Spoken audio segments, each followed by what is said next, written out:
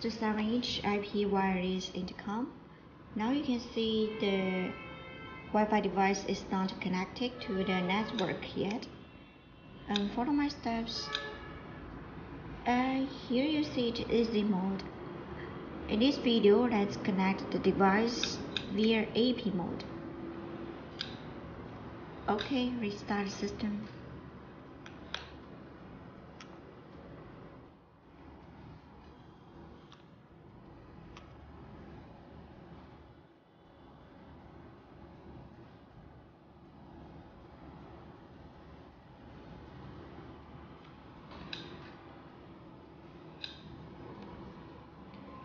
Check the network. Now you can find uh, via the AP mode the Wi-Fi hotspot and its password has come out.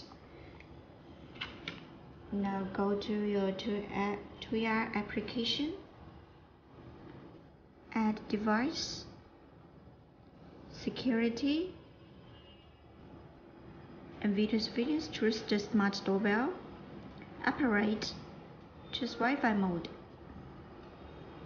Next, you have to keep the same as the Wi-Fi device, so it's AP mode. Here you have to input to input your uh, home Wi-Fi network and its password.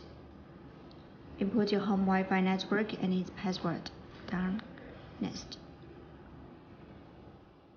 Connect your mobile phone to the device hotspot. The device hotspot, we can find it right here. Oh, sorry.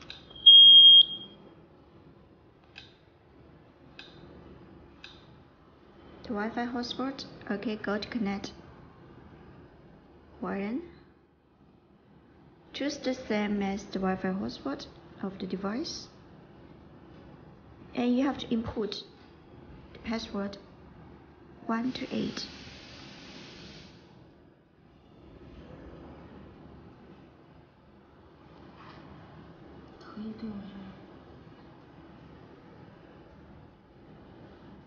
Back to the Tuya application okay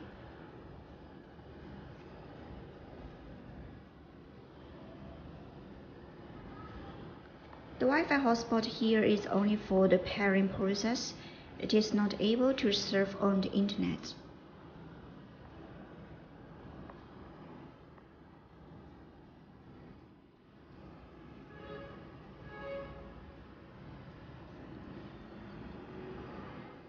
Okay, now it is successfully pairing.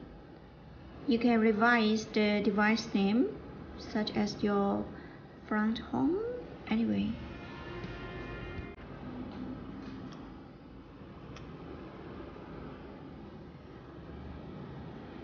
Okay, here is the device, the live view of the camera.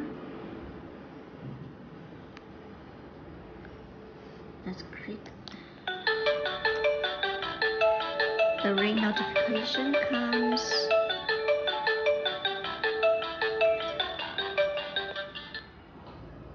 You can release the door lock with the mobile phone and speak with the visitor.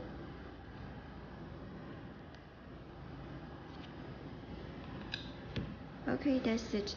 The device is Wi-Fi connected